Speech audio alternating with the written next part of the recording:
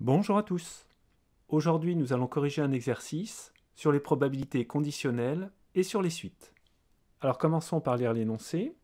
Le soir, avant de s'endormir, Bachir regarde des séries ou lit un livre. La probabilité qu'il lise le soir s'il a lu la veille est de 0,3. Il s'agit donc d'une probabilité conditionnelle, puisque 0,3 est la probabilité qu'il lise, sachant qu'il a lu la veille. De la même façon, la probabilité qu'il lise le soir, s'il a regardé des séries la veille, est de 0,7. Donc la probabilité qu'il lise le soir, sachant qu'il a regardé des séries la veille, est de 0,7. Pour tout entier n appartenant à n étoiles, on note L indice n, l'événement, le nième soir, Bachir lit un livre. On appelle P indice n la probabilité de cet événement. Le premier soir, Bachir a lu un livre, de sorte que P indice 1 est égal à 1. Alors question 1, recopier et compléter l'arbre ci-contre représentant la situation. Donc sur l'arbre, on retrouve l'événement Ln et son contraire. Et à partir de ce nœud, on a deux branches avec L n plus 1 et son contraire. Alors, où se trouve la valeur 0,3 dans cet arbre? C'est la probabilité qu'il lise le soir s'il a lu la veille. Donc on a le soir numéro n, et n plus 1, et donc le lendemain.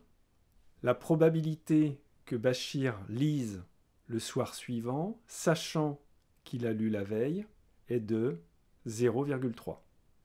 Où se trouve le 0,7 C'est la probabilité qu'il lise le soir s'il a regardé des séries la veille. Donc la probabilité qu'il lise le soir, sachant qu'il a regardé des séries la veille, c'est-à-dire qu'il n'a pas lu, cette valeur vaut 0,7. Donc on vient de placer les deux probabilités suivantes. Probabilité qu'il lise le soir, sachant qu'il a lu la veille. Cette valeur, c'est 0,3. La probabilité qu'il lise le soir, sachant qu'il a regardé des séries la veille, est égale à 0,7.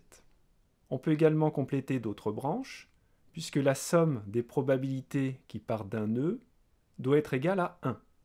En effet, si Bachir a lu la veille, le lendemain, soit il lira, soit il regardera des séries. Donc on en déduit une probabilité de 0,7 pour cette branche.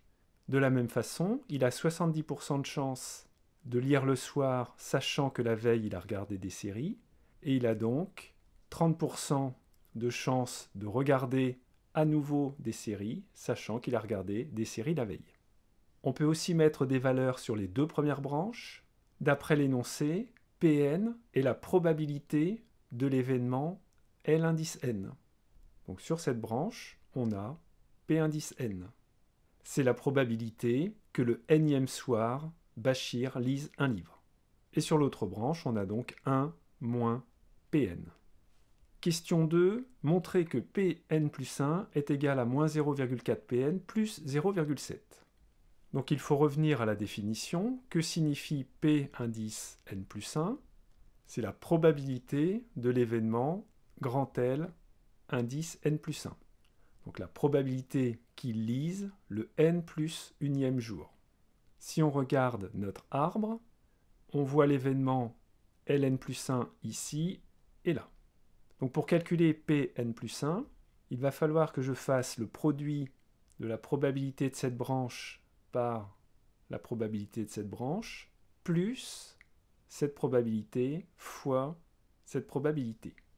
C'est-à-dire P indice n multiplié par 0,3, donc ça c'est la branche du haut, plus 1 moins Pn fois 0,7. Dit autrement, la probabilité de cet événement, c'est la probabilité d'avoir l'événement ln multiplié par la probabilité d'avoir l'événement ln plus 1, sachant ln, plus la probabilité d'avoir cet événement multiplié par la probabilité d'avoir cet événement, sachant ln bar. Je vous l'écris, probabilité de ln plus 1, c'est p de ln par probabilité d'avoir l'événement ln plus 1 sachant l'événement ln, plus probabilité de ln bar fois la probabilité d'avoir L n plus 1, sachant l'événement ln bar. Donc si on termine notre calcul précédent, ça fait 0,3 Pn, plus, en distribuant le 0,7, on aura 0,7 moins 0,7 P indice n. Ce qui fait moins 0,4 P indice n plus 0,7. Question 3. On définit pour tout entier n appartenant à n étoile la suite Vn par Vn égale à Pn moins 0,5. Montrer que V indice n plus 1 est égal à moins 0,4 Pn plus 0,2. On a Vn qui s'écrit en fonction de Pn. Donc Vn plus 1 va pouvoir s'écrire en fonction de Pn plus 1. Et Pn plus 1 s'écrit en fonction de Pn. Donc on va réussir à écrire Vn plus 1 en fonction de Pn. Donc si on le fait, on a Vn plus 1 est égal par définition à P indice n plus 1 moins 0,5. Et P indice n plus 1, on a vu à la question 2 que c'est la même chose que moins 0,4 P indice n plus 0,7. Moins 0,5 est égal à moins 0,4 Pn plus 0,2. Question B, exprimer Pn en fonction de Vn. On a Vn en fonction de Pn. Vn est égal à Pn moins 0,5. Et donc, en additionnant 0,5 des deux côtés de l'égalité, 0,5 plus V indice n est égal à Pn. Question C, en déduire que V indice n plus 1 est égal à moins 0,4 Vn. Donc on a V indice n plus 1 qui s'écrit en fonction de Pn, et on vient de voir que Pn s'écrivait en fonction de Vn. Donc Vn plus 1 est égal à moins 0,4 P indice n plus 0,2. Et je vais remplacer Pn par son expression en fonction de Vn. Ça fait moins 0,4, entre parenthèses 0,5 plus V indice n plus 0,2.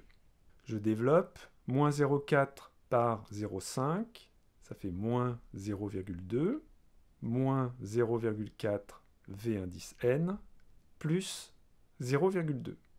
Les 0,2 se simplifient et on obtient bien le résultat voulu. En déduire la nature de la suite Vn, on voit que Vn est une suite géométrique, puisque si l'on calcule Vn plus 1 divisé par Vn, on obtient la constante moins 0,4. Donc Vn est une suite géométrique de raison Q est égal à moins 0,4. Précisons le premier terme, V1, puisque n appartient à n étoiles. Comment calculer V1 On a l'expression de Vn en fonction de Pn, et on sait que P1 est égal à 1. Donc V1 est égal à P1 moins 0,5, et P1 est égal à 1, ce qui fait 0,5. Question suivante, exprimer Vn puis Pn en fonction de n. Alors rappelons comment s'écrit le terme général d'une suite géométrique de raison Q. Quand le premier terme est U0, Un va s'écrire U0 fois Q puissance n. Et lorsque le premier terme est U1, le terme général s'écrit U1 fois Q puissance n-1. Donc pour nous, Vn va être égal au premier terme, 0,5, fois la raison, moins 0,4, puissance n-1. On a donc bien écrit Vn en fonction de n. Et comme P indice n est égal à V indice n plus 0,5, on obtient 0,5 fois moins 0,4 puissance n-1 plus 0,5. On peut également l'écrire sous forme factorisée. 0,5 facteur de moins 0,4 puissance n-1 plus 1. Quelle valeur peut-on conjecturer pour limite quand n tend vers plus l'infini de la probabilité Pn? Alors on peut commencer par utiliser sa calculatrice. On va définir la suite Pn. Je vais commencer par la forme explicite que l'on vient de trouver, c'est-à-dire 0,5 fois moins 0,4 puissance n-1 plus 1. Je demande afficher le tableau de valeurs. Donc n égale à 0 ne m'intéresse pas. Je vois que P indice 1 est égal à 1, comme dans l'énoncé. P indice 2 est égal à 0,3. Comme Bachir avait lu le premier soir, la probabilité qu'il lise à nouveau le lendemain est bien de 30%. La probabilité qu'il lise le troisième soir est de 58%, le septième soir de 50,2%. Les valeurs ont l'air de se rapprocher de 0,5. On peut donc conjecturer qu'au bout d'un nombre assez grand de soirs, par exemple au bout de 10 jours, 15 jours, un mois, la probabilité pour qu'il lise ce soir-là sera une valeur proche de 50%. Si on trace le graphique, le premier soir, Bachir a lu un livre. Le lendemain, il y a une probabilité de 30% qu'il lise à nouveau un livre. 58%, 46,8. Et les probabilités se rapprochent de 50%. On peut donc conjecturer que la limite quand n tend vers plus l'infini de p indice n est égale à 0,5. Voilà, à bientôt.